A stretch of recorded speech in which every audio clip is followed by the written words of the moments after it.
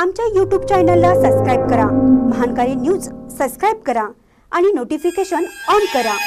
Notification on केल्यामुळे आमचे update आपल्यापर्यंत सतत पोहोचेल. सेंद्रिय शेती ही शाश्वत शेती मृद ही संपत्ती. प्राध्यापक देसरडा.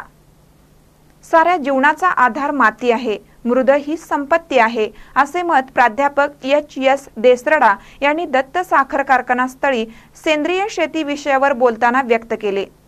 दत्त साखर कारखान्याच्या कार्यस्थळावर सेंद्रिय शेती हा शाश्वत पर्याय या विषयावर व्याख्यान आयोजित केलं होतं. रासायनिक खते कीटकनाशकांच्या अतिरिक्त वापरामुळे जमिनी क्षारपड व सत्वहीन बनल्या आहेत. रासायनिक खते व कीटकनाशके वापरून घेतलेल्या शेतीमालाच्या उत्पादनातून अनेक प्रकारचे रोग नागरिकांमध्ये दिसून येऊ लागले आहेत. शेती आणि नागरिकांना दुर्धर आजारापासून वाचवण्यासाठी सेंद्रिय शेती हा शाश्वत पर्याय आहे. सेंद्रिय शेतीला प्रोत्साहन देण्यासाठी प्रत्येक हंगामासाठी सेंद्रिय शेतीला अनुदान द्यावे.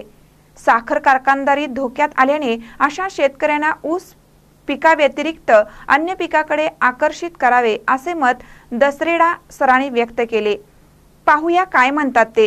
शेती अधिकारी सर्वांच्या वतीनं. आम्ही आमच्या कार्यक्षेत्रामध्ये जमीन सुधारली पाहिजे आणि जमिनीचा सेंद्रिय वाढला पाहिजे असं सांगण्यात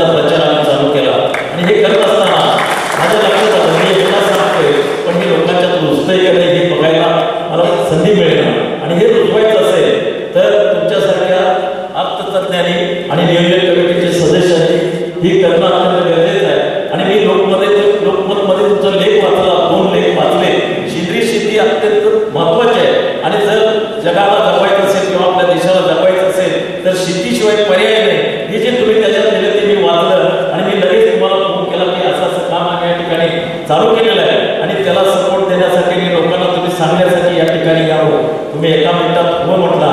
आणि हेही सांगितलं की मी तुम्ही शेती बघून गेलेलं आहे. माझ्या लक्षात नव्हतं पण तुम्ही आठवण करून दिल्यानंतर माझ्या लक्षात आलं. आणि तुम्ही या ठिकाणी आमच्या विनंतीला मान देऊन आला. आणि आमच्या लोकांना सेंद्रिय शेतीचं महत्त्व काय शेतीचं महत्त्व काय किंवा जीवनाचं महत्त्व काय आणि विषमता कशी निर्माण होत निघाली या सर्वांना तुम्ही सगळ्या लोकांच्या समोर माहिती दिला. शेती जगली तर आपण सगळे जगणार आहे. हा एक संदेश तुम्ही दिला. आमच्या विनंतीला मान देऊन या ठिकाणी तुम्ही आला. लोकांना मार्गदर्शन केला. त्याबद्दल मी आपला मनापासून आभार मानतो आणि एक आव्हान करतो की इथून पुढं ज्या ज्या वेळा मला आपली गरज लागेल त्यावेळेला तुम्ही आलं पाहिजे आणि मला तर आपण सगळ्यांनी प्रयत्न करणं गरजेचं आहे. आज तालुक्यात आमच्या विषमता भरपूर निर्माण झाली आहे. चारपट जमीन पडायला लागलेली आहे विष भरलेली जमीन तयार झालेली आहे हे विषमुक्त कमी करायचं असेल विषमुक्त जर जमीन करायची असेल तर सेंद्रिय शेतीवरती भर देणं अत्यंत गरजेची गोष्ट आहे आणि तुम्ही येऊन या ठिकाणी मार्गदर्शन केलं. पुन्हा एकदा मी तुमचं मनापासून आभार मानतो. त्याचप्रमाणे या ठिकाणी आमचे वाईस चेअरमन साहेब आले एम डी साहेब आले मयूर वेळे भोसले सरकार सर्व अधिकारी वर्ग आणि आमच्या कारखान्याचे आधारस्तंभ आणि पत्रकार बंधू या ठिकाणी आले. त्या सर्वांचं एक जाता एक चार दिवसापूर्वी देसाटे साहेब मी यांना आव्हान केलं की असं असं केरळमध्ये आपत्ती निर्माण झालेली आहे. तिथलं घरदार सगळे उद्ध्वस्त झालेले आहेत. त्यांना कुठल्याही पद्धतीचा आसरा नाही. कारण त्या बारा जिल्ह्यामधले दहा जिल्हे अति अत्यंत निस्तारभूत झालेले आहेत. आणि ह्यांना मदत करणं अत्यंत गरजेची गोष्ट आहे.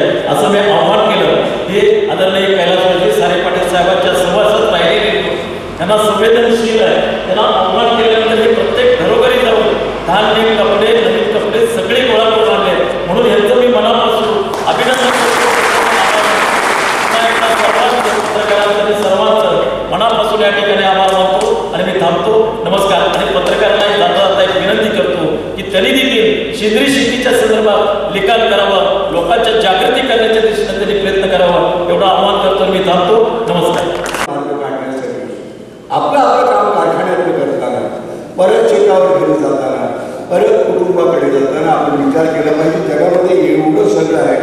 पण हे सगळं आहे एकट्यासाठी नाही आहे सगळ्या जगासाठी. म्हणून पहिलं थिंक ग्लोबली सगळ्या जगाचा विचार. सगळ्या जगत जगामध्ये लोक कसा विचार करतात त्याचा विचार करा. ग्लोबली ॲक्ट ग्लोबली इथे जमिनीवर